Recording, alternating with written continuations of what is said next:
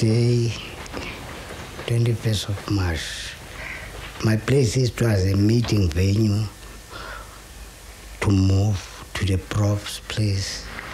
The members started to flock in in my house. We didn't know our destiny.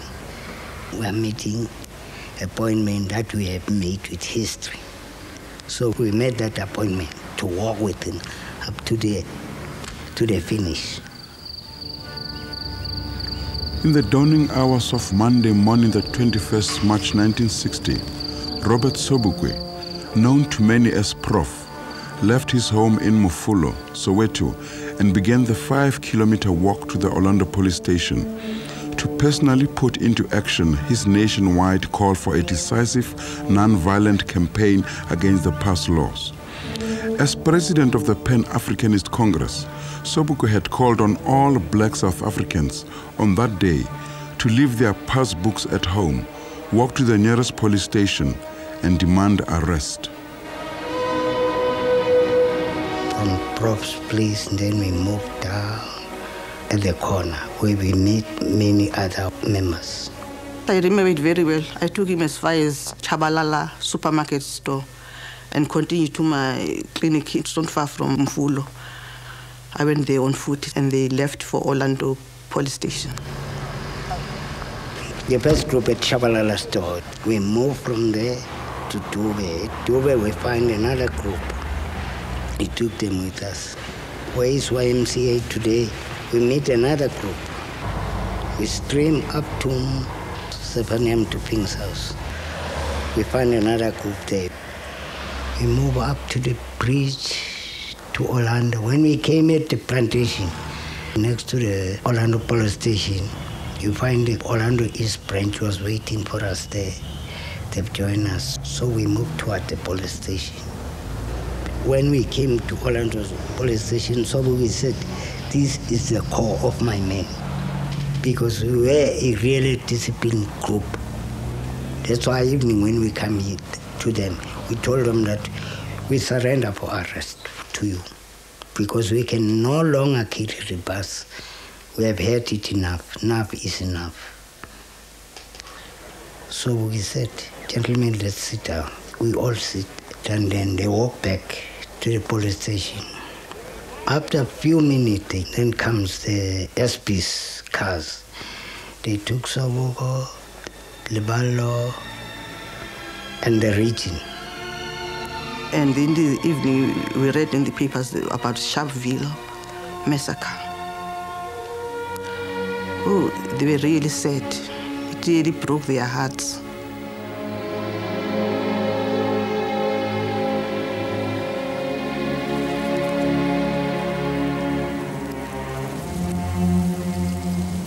For Sobukwe, the 21st March 1960 began as any other day. By nightfall, his actions had determined the course of history in South Africa, and the police shootings at Sharpeville had emblazoned indelibly the profile of apartheid on the consciousness of the world.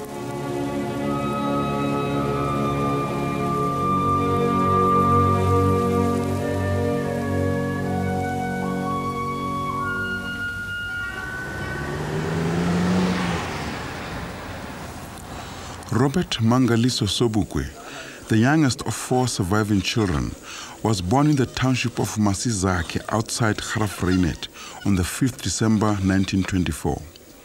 It was a hard and simple life. His mother, Angelina, had never been to school, while his father, Hubert, forced by circumstances to leave after Standard 5, was passionately driven to ensure the education of his children. There was no electricity or running water, and the children slept on the floor. But with his meager income, Robert's father made sure that he brought books into the home and encouraged his children to read. Their father, a religious man. For Robert and his siblings, church attendance on Sunday was obligatory at the Township Methodist Church Mission.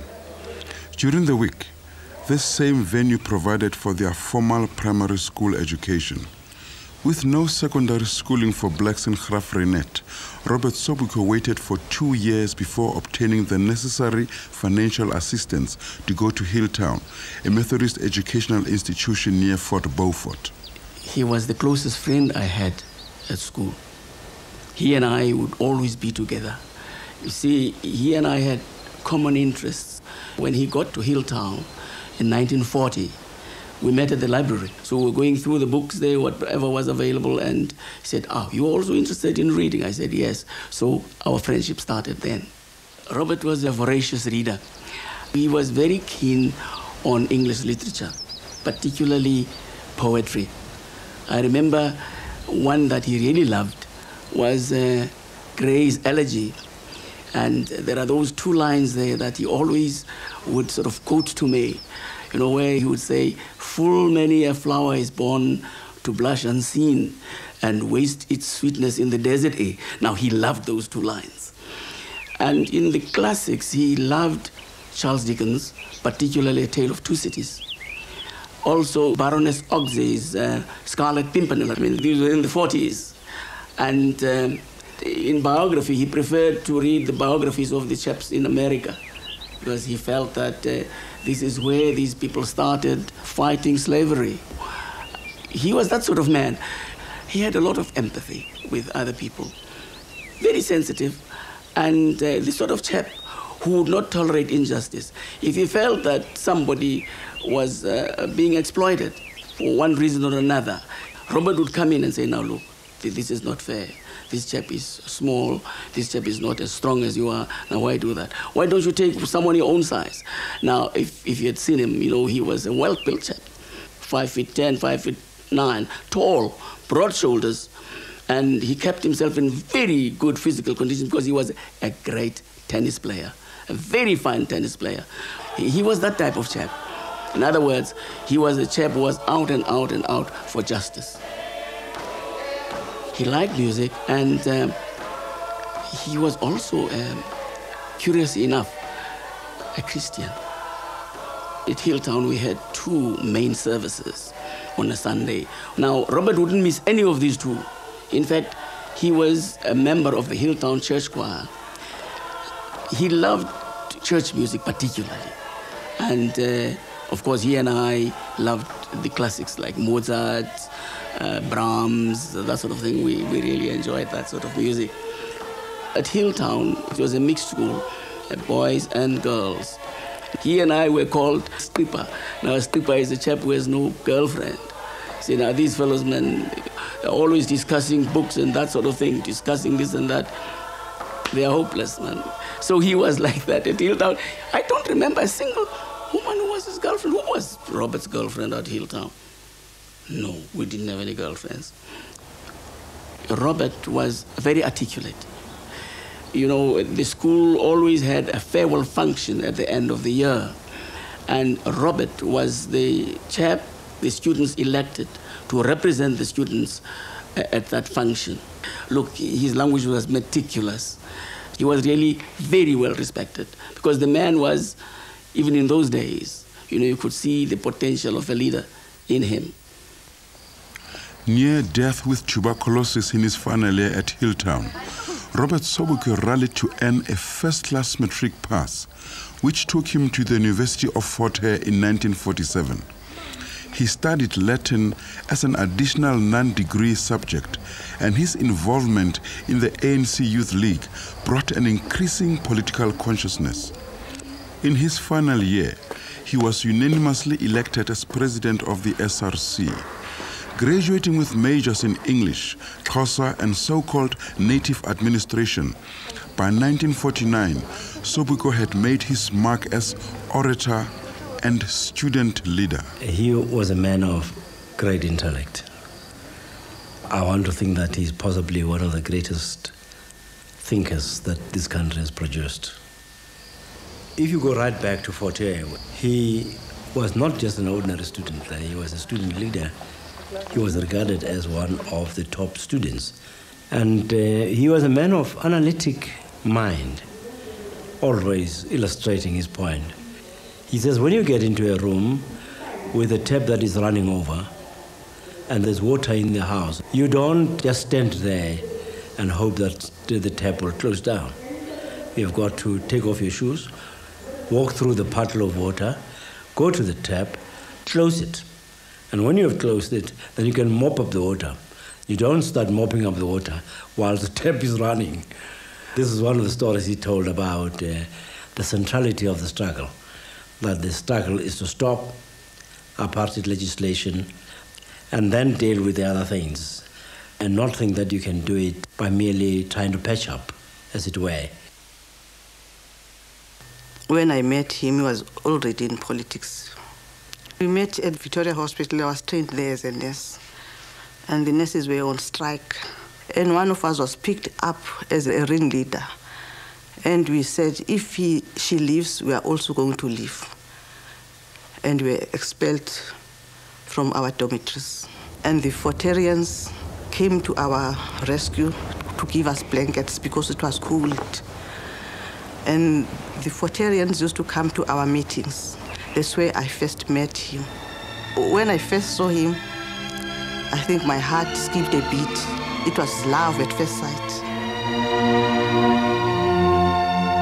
After completing midwifery, I went to Vryheid. I was working as a trained nurse. He was teaching in Standerton General High School. I used to write to him and tell him that I'm passing Standerton to Durban or Vryheid or Ladysmith. And he used to come there and meet me. And stand at Standerton Station on my way to, to work.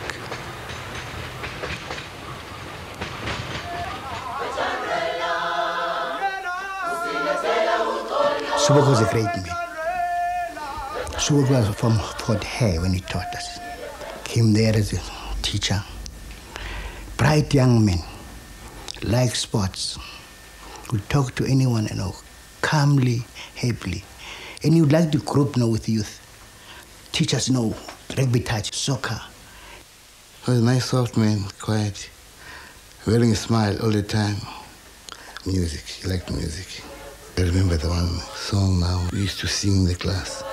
ayusizi lomntu omnyama eAfrika zonke izizwe zibeka phansi kwenyawo senze intoni what have we done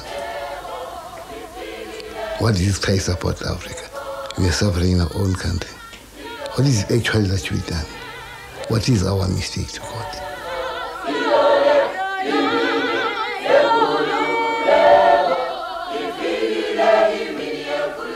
I remember some time back, these advisory reports, they met with inspectors.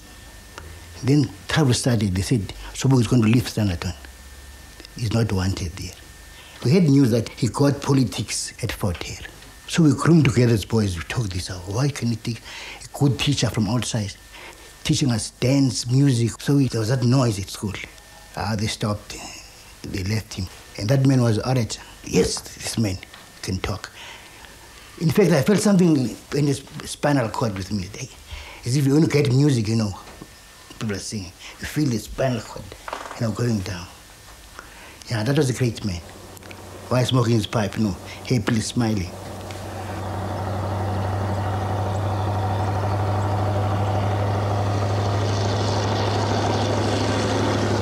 We got married in 1954 in Johannesburg. I was teaching at Wits University as a lecturer in Bantu languages.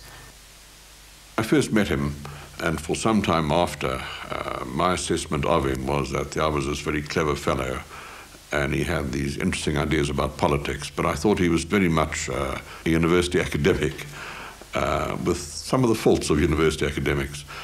And I gradually saw him changing.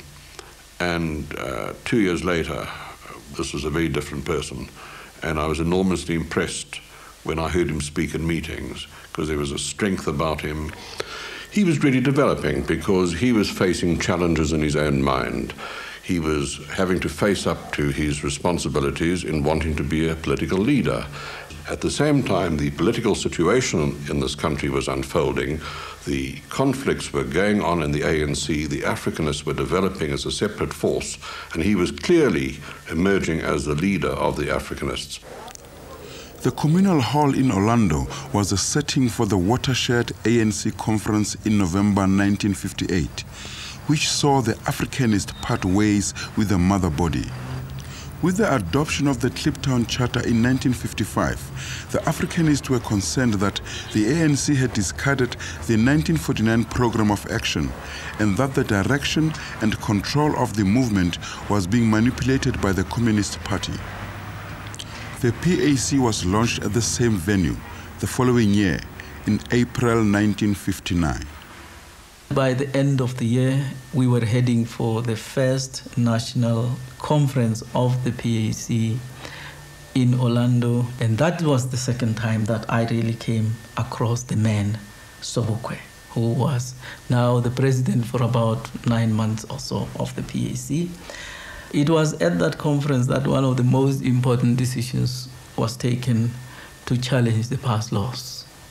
I remember one single year, 1957, when as much as 368,000 Africans were arrested and charged under one aspect of the pass laws or the other.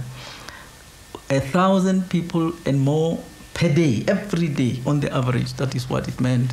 The law at that time provided that the commissioner of the police can sell cheap labor to the farmers cheap labor to make more profits with convict labor. And Sobukwe saw all this. He understood it. It was his people who were suffering. And you see, the decision had to be taken. And no soft methods were now to be resorted to. And the PAC took a decision at that Congress under Sobukwe's leadership that we were going to take final decisive action against the pass laws and powers were given to Sobukwe to call the nation as soon as possible. And we were amazed at the simplicity of the plan. Sobukwe decided that on a given day, a local branch of the PAC, under the local leadership, would move to the nearest police station and say to those in charge of the police station, look, here we are. we don't have our passes. The whole idea was that uh, you had to give non-violence a chance. That was Sobukwe's mission. The Reef area, Eastern Cape, uh, the Natal region were sufficiently mobilized, but I think the Western Cape was in the lead. And Sobukwe came around in February 1960 to say, folks, if you let me down, I remember those were his last words. That last time I was on. If you guys let me down in the Western Cape, then we, we are nowhere. He had a sense of his audience, and here he knew he was talking to, you know, the migrant workers that come from the Eastern Cape to work in the dockyard, in the fishing industry, and so on. Uh, semi-illiterate men and women, traditionalists, who carry their big pipes and want to listen to the man who is coming to tell them a story about fighting the pass laws. And in, in the traditional way, uh, Sobukwe would get onto the platform and say, in, in beautiful Xhosa, I'm the son of Sobukwe, born in Graaff-Reinet, that country of the goat and the sheep. You know, you talk to the ordinary folks who realize this is not a township boy, he comes from the rural areas. For instance, he starts by talking about an African woman somewhere in Central Africa, beautiful lady who had a little boy, we don't know who the father was. But this beautiful woman used to be visited by all types of men because they saw a charming woman. And a Portuguese guy stays, goes away. A British man comes, stays away. Another Spanish guy hangs around, goes away. But as the years goes uh, by, the woman started losing her beauty and sometimes wears off. And later on, the number that comes around seems to be thinning down until one day when the woman is finished. I mean, to be talking about colonialism, imperialism, new colonial, what would it mean to the villagers? But a, a story like that would have this type of impact in deciding to opt for politics to serve his people. It was a very strong belief in him. It came from deep inside him. And I saw him going through the tussle in his own soul about what to do because Rhodes University offered him a full lectureship, and that was quite exceptional. And he could have very easily gone for the very nice option of being a university lecturer, which he enjoyed doing. He loved teaching, he loved writing and research, but he accepted his responsibility was to go on with politics and to serve his people. On Friday, 18th March, Sobukwe announced that the moment had come. The decisive non-violent campaign against the pass laws would be launched in 72 hours. On the eve of March the 21st, Sobukwe tendered his resignation to the University of the Witwatersrand. Circumstances have arisen, he wrote, which make it necessary in the interest of the university that I resign. I wish to thank you for the attitude you adopted in refusing to interest yourself in my political life. Yours sincerely, R.M. Sobukwe. The following morning, Sobukwe put into practice his call to the nation, and history took its course. So I ended up at the Orlando police station, and I was there when Sobukwe went inside and knocked on the door of the officer commanding. And in pretty traditional white police style at that stage, the officer said, I'm busy, I'll see you later. Then I heard at a place called Bophelong, the police had opened fire, and it was thought that at least two people had been killed. And I went across and told Sobukwe, and he was profoundly disturbed by this. He had, remember, sent a letter on the Friday to the Commissioner of Police to tell him about the coming campaign and to ask him to ensure that the police remained non-violent. And then I decided to go and see what was happening at Bophelong, Evaton, Sharpeville, and I said goodbye to him and wished him well. I got to Sharpeville, and the police evidence afterwards was of this threatening crowd. Uh, it just wasn't true, because I was in the thick of that crowd. And once they knew us from the Rand Daily Mail, uh, all that people wanted to do was to tell me their grievances. And suddenly the shots began. And um, Ian Berry, with the most extraordinary courage, took the pictures of people running towards him. And at first you see they're laughing. And then they realize what is happening and they're covering their heads with their shirts and so on. And then you just see the field of, of the dead.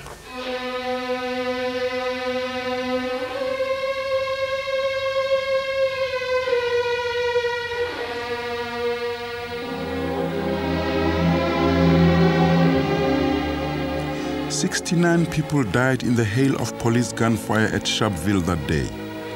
As the echo of the massacre awakened understanding of oppression in South Africa around the world, so too the last hopes for peaceful change faded in the settling dust at Sharpeville. Non-violent struggle had failed. Sobukwe too was to pay the ultimate penalty with the South African government instituting the so-called Sobukwe clause, enabling the incarceration of Robert Sobukwe, as they put it, this side of eternity.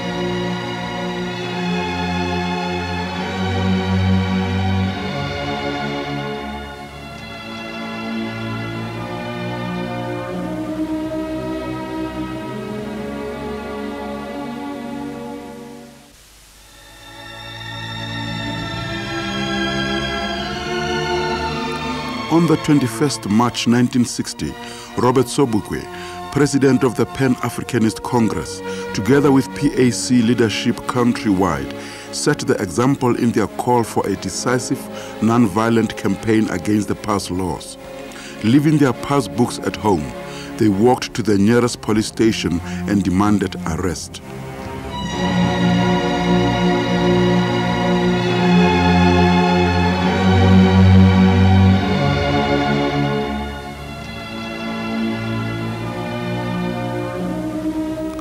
Sobukwe, initiator of the campaign, was arrested with 23 of the executive committee and held at the Johannesburg fort pending trial.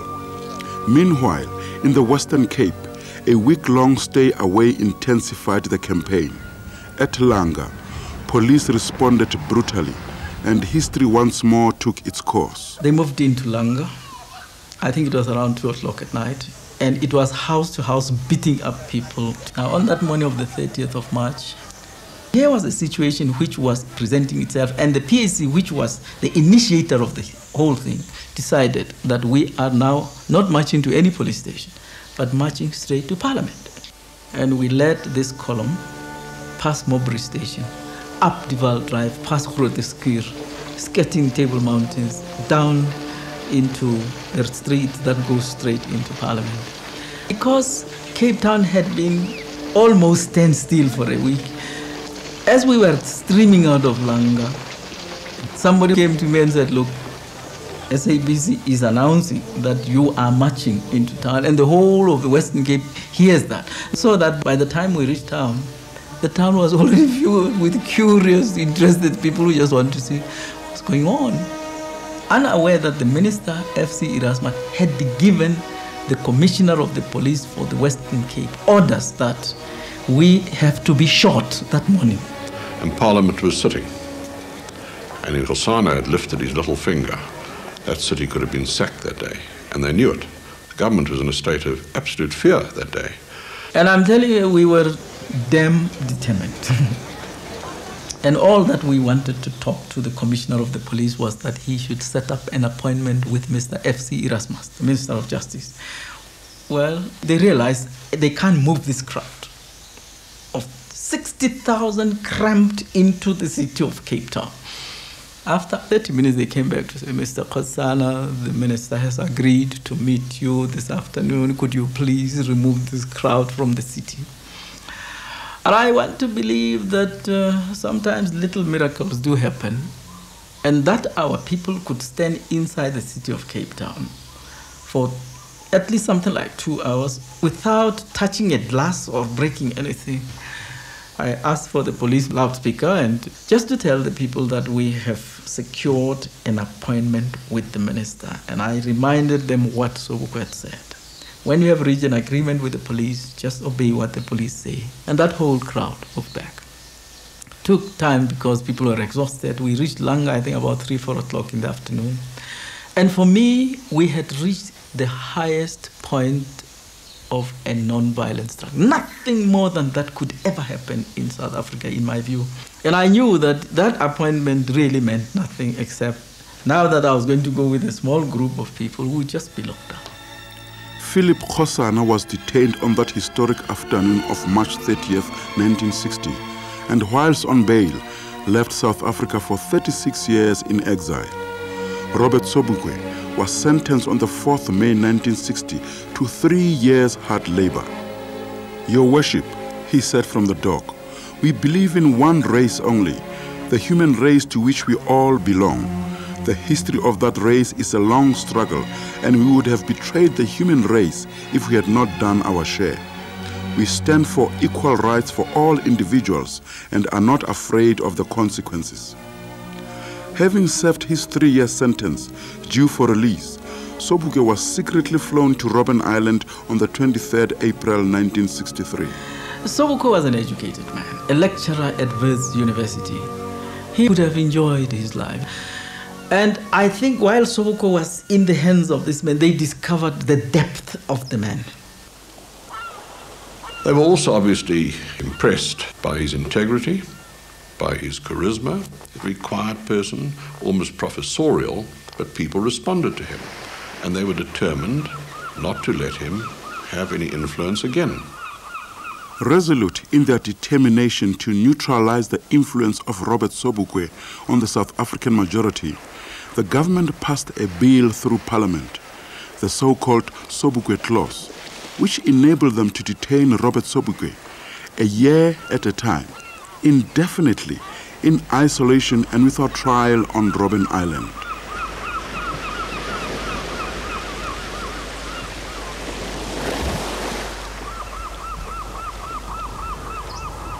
I only knew him starting when we went to visit him at uh, Robben Island.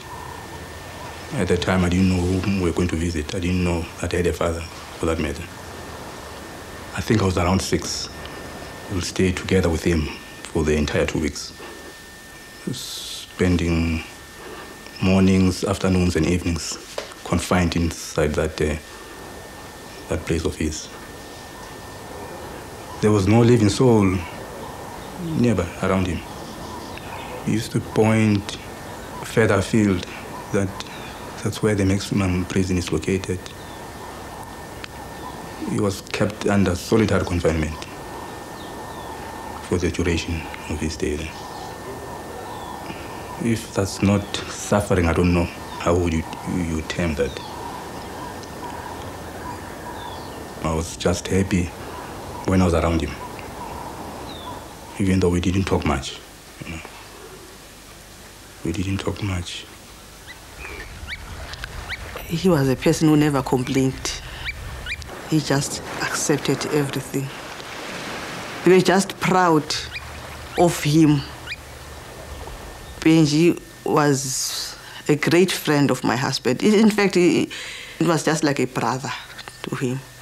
He supported him spiritually. And as he came to see us almost every month, he was very supportive.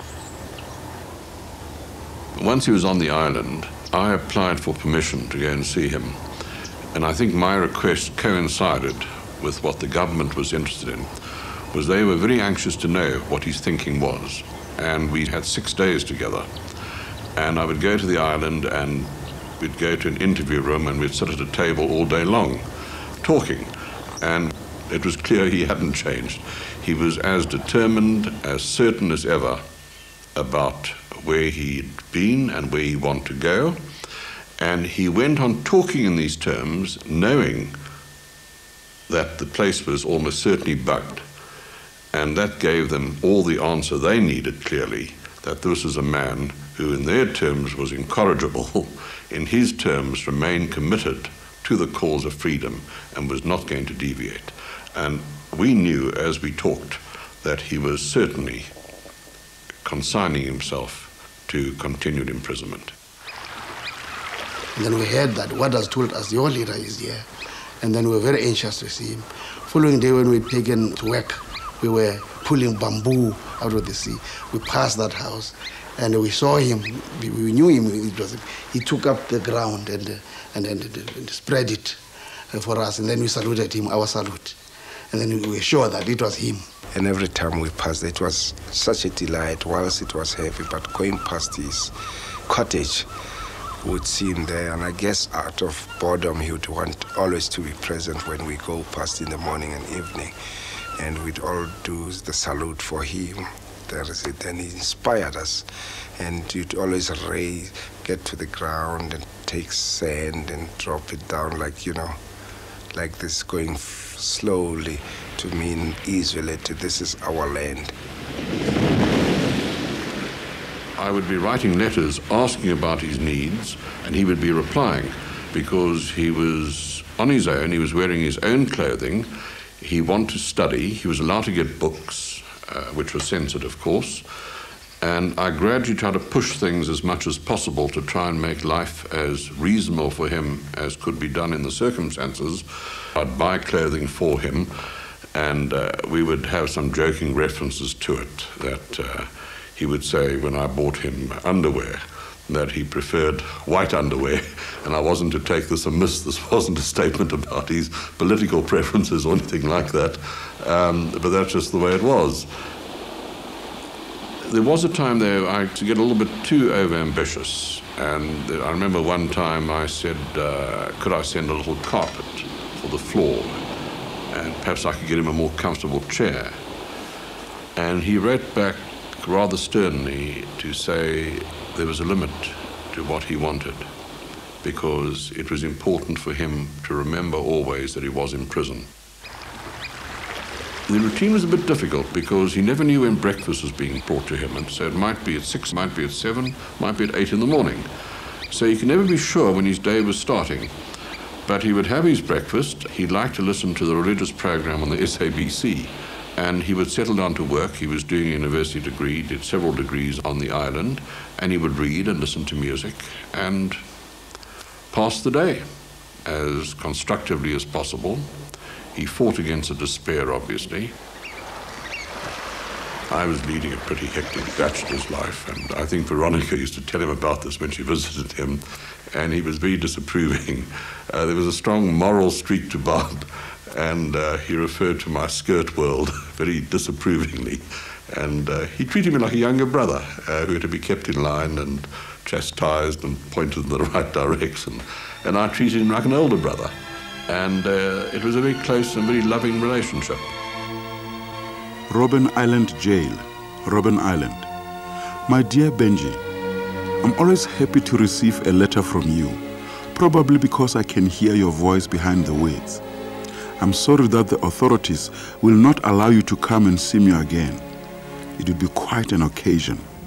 I can still see you arriving in 1964 when you suggested that I sit more in the sun, from which day dates my association with the tree outside.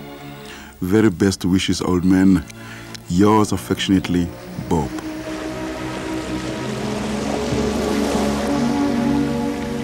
What eventually happened, he'd been on the island for six years in these quite terrible circumstances, never knowing when he was going to come out.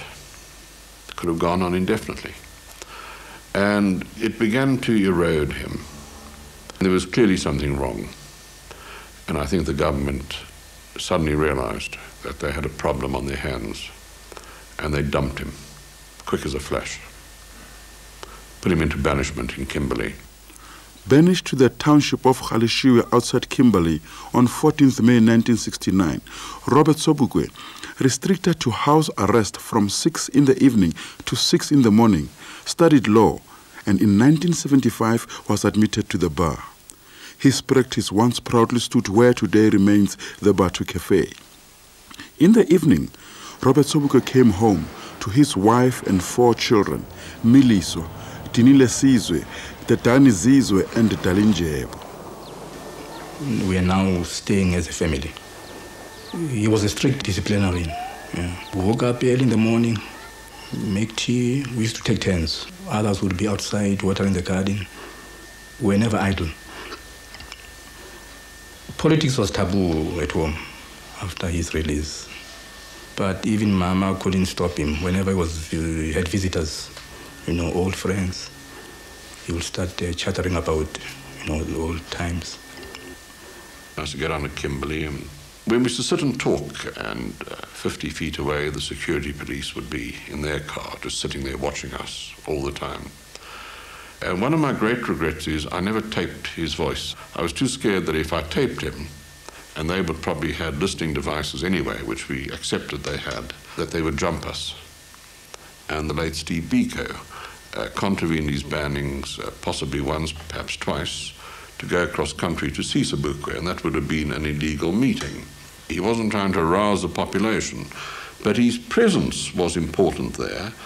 The mere fact that he was there and people knew he was there contributed to the politicization of the community in Galeshewe. On the other hand, lots of people from all over the world came to meet him. We've had leading figures from the various governments. We've had people from Europe. We've had people from the United States. Oh, Malume was modest. He was a humble man. There are a lot of good things we picked up from him. He never raised his voice when talking. He always had a smile, which surprised us, like someone who was from jail.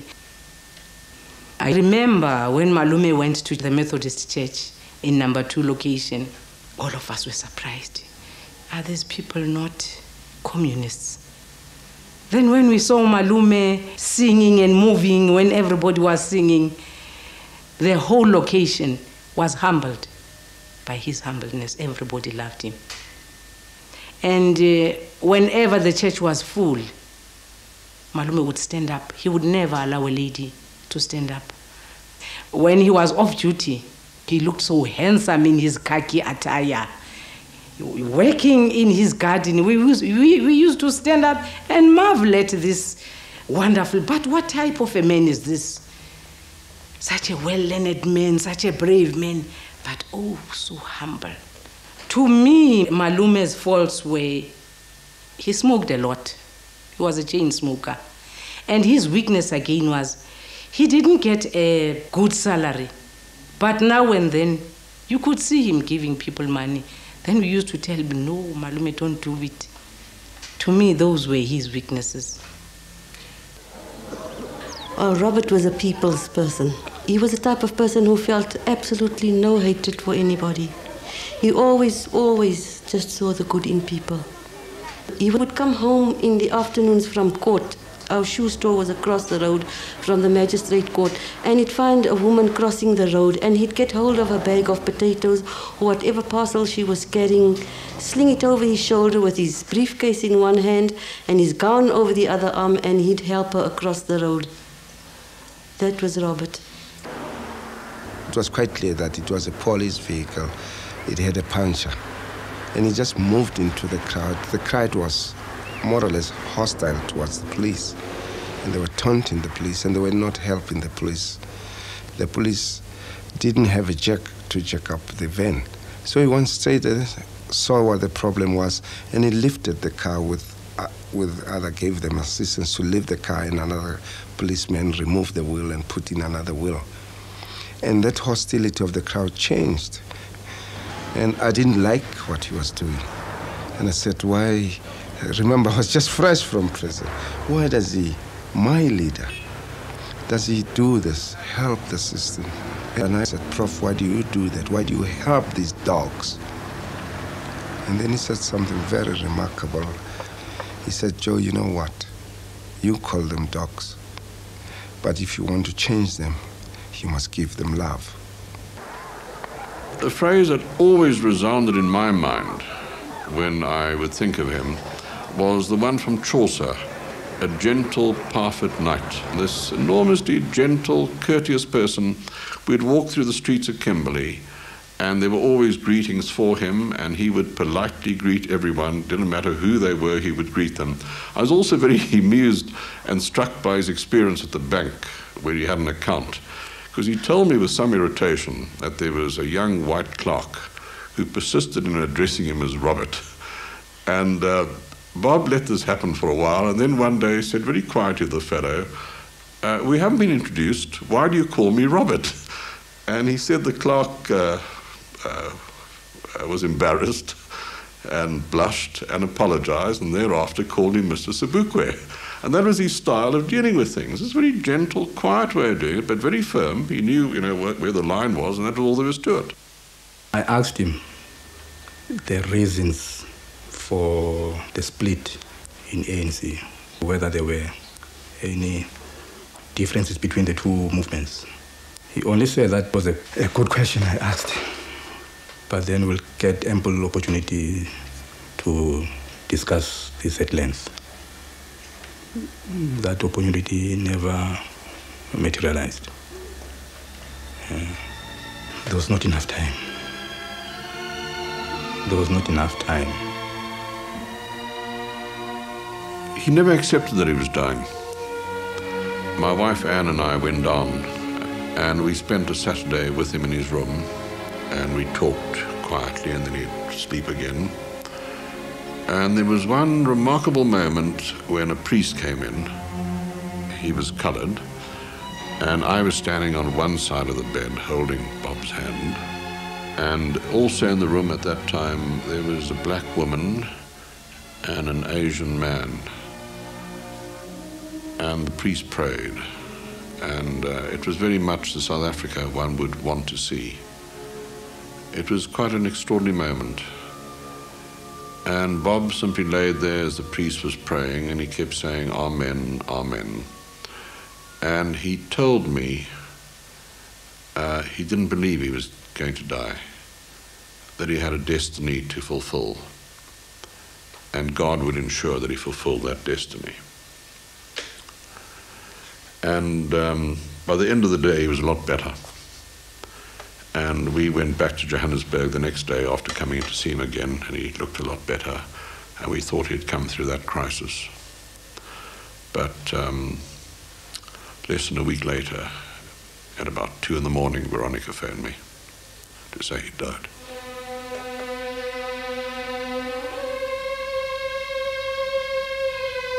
Mm, 77, I'd